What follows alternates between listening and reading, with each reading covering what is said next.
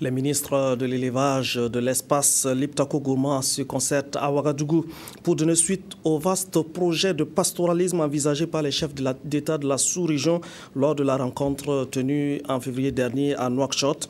Les ministres travaillent à capitaliser les acquis engrangés dans le cadre du programme sectoriel du développement de l'élevage mis en œuvre dans les trois pays du Liptako Gourma. Reportage Maxime Zongo.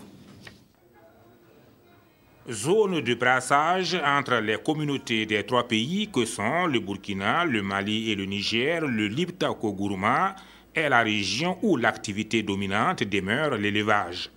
Pour une gestion rationnelle de ce potentiel, les ministres en charge de l'élevage de ces trois pays ont initié un ensemble de programmes afin d'appuyer le secteur.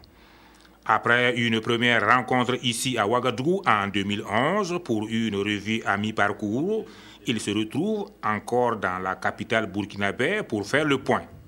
Nous sommes là pour en faire une évaluation, mais surtout euh, adopter les plans et stratégies pour une seconde phase. Ce qui est attendu, c'est essentiellement de voir euh, pour l'ensemble hein, de nos pays quelles sont les actions concrètes à mener pour un développement intégré de l'élevage? Au cours de cette seconde rencontre, ministres et experts auront à examiner l'activité économique qui peut se développer autour de l'élevage et voir pour chaque pays les composantes qui peuvent être intégrées.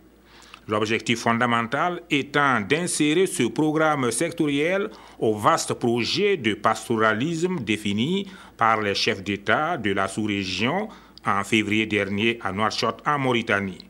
L'ambition à terme, mieux fédérer les atouts et les acquis en termes d'infrastructures transfrontalières.